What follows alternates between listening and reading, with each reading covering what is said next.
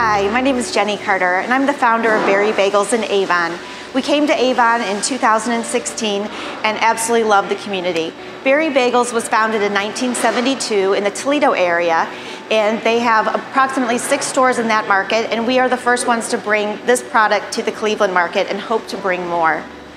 So we have a very, very wide variety in our menu. We have everything from breakfast sandwiches that we serve all day long to deli sandwiches, salads, soups, you name it. We have seven different types of meats and cheeses that we slice fresh daily.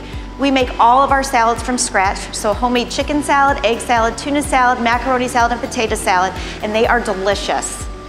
We are known for our catering, and in these very tough times right now, that is something that is hard to do because we don't have a lot of businesses that are open. So what we've been doing is partnering with other businesses in the community and taking lunches to the essential businesses that are open and uh, putting themselves in the front lines right now. It's been a wonderful partnership with many different businesses in the community showing that we all care and that everybody needs food and so we individually package all of our our meals for each employee that we are delivering to, and it's working out just great. So we really miss our customers being face to face and being in the store. It's, it's hard when you see these faces every single day and you can't visit with them anymore.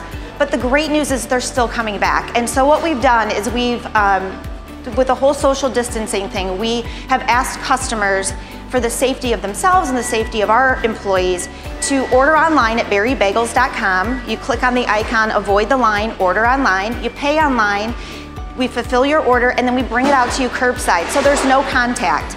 The, we also offer options through our three different delivery partners, which are Grubhub, Uber Eats, and DoorDash, where the customer can order directly through them and have their food delivered, or they have the choice of picking it up here curbside as well.